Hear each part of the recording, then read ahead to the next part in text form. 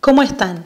Hoy vamos a hablar de redes sociales y vamos a ver específicamente las redes sociales cuyo contenido principal es la parte visual, las imágenes. ¿Para qué te sirve a vos tener una red social con imágenes? Porque genera una cercanía con el usuario que no genera otra red social y porque además la recordabilidad es mucho mayor. Ya hemos visto en Facebook y en Twitter que los posteos con imágenes son los que mejor funcionan porque el cerebro humano recuerda un 90% más aquello que vio que lo que leyó. Entonces vamos a entender cuáles son las redes sociales que existen, cuál es la fortaleza y debilidad de cada una de ellas para que vos puedas elegir la más adecuada para tu negocio en función de estas características. Vamos a empezar ahora con Pinterest. Esta es la home. ¿Qué es lo que vemos cuando entramos en la home? Vemos los contenidos en función de, los, de las personas o de los tableros que nosotros estamos siguiendo. En Pinterest vos podés seguir una persona, un usuario, un tablero en particular de un usuario o una temática que me va a mostrar todos los contenidos que posteen todos los usuarios sobre esa temática.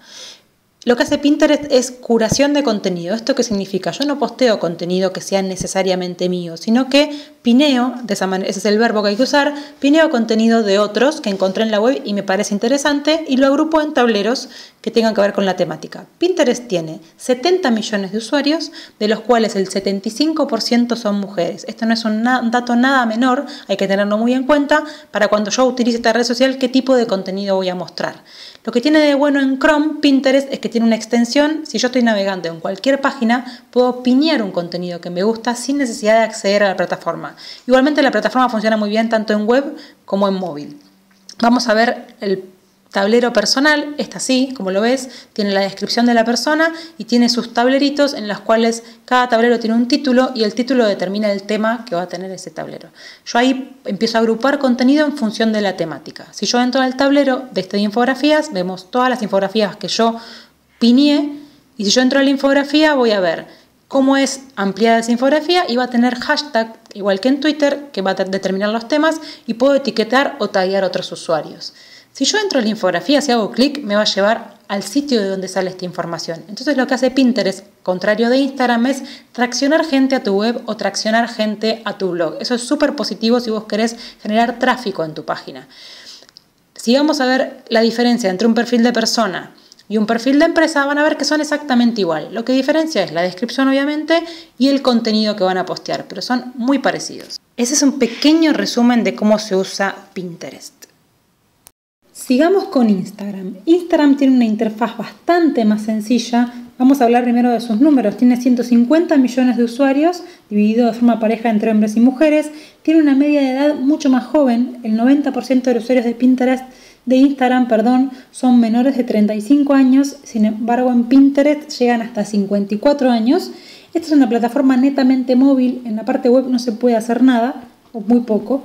Uno puede ver acá las imágenes de la gente que sigue puede darle me gusta, puede comentar las imágenes y acá se puede también usar hashtag y taguear para identificar las cosas y, ponerles un ordenarlas, pero no se pueden hacer tableros. Todas las imágenes tienen la misma preponderancia. El perfil de persona y el perfil de empresa, como verán, igual que en Pinterest es igual, no tiene ninguna diferencia. Lo que lo diferencia es el contenido. Acá uno sube una foto, le pone un filtro, la gente puede darle me gusta o comentarla y eso es todo lo que se puede hacer. La diferencia principal es que Instagram genera una cercanía, una intimidad con la marca que no genera Pinterest. Uno sube la foto, generalmente esto es contenido propio, casi hay creación de contenido de los usuarios y no solamente curación. Y lo que se hace es generar una conversación con los usuarios. Entonces, sabiendo estas diferencias principales, la idea es que vos puedas elegir cuál es la mejor red para vos. Te voy a contar algunos tips más para que puedas definir esta, esta decisión. Primero, la elección va a depender de tu público, y de tu objetivo comercial y de tu objetivo de comunicación. Si tu público es mayoritariamente femenino, obviamente que tenés que estar acá, porque acá están las mujeres. Pero si tu público es netamente más joven, tenés que estar acá, porque acá está la gente joven. Lo que hace Pinterest es generar tráfico a tu web, generar más tráfico. Si vos querés llevar gente a tu página o a tu fanpage o a tu blog, tenés que estar en Pinterest porque acá generás tráfico y te volvés referente en tema, referente de un tema y acá puedes llegar mejor a empresas si sos una empresa B2B.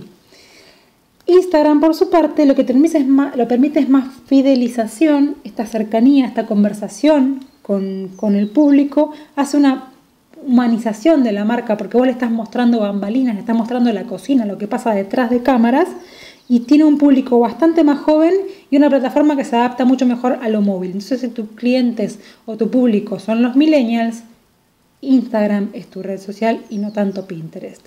Espero que esta información te sea de utilidad y que puedas elegir más rápido tu red social en función de, esta, de este video y nos vemos en el próximo con más detalles. Muchas gracias.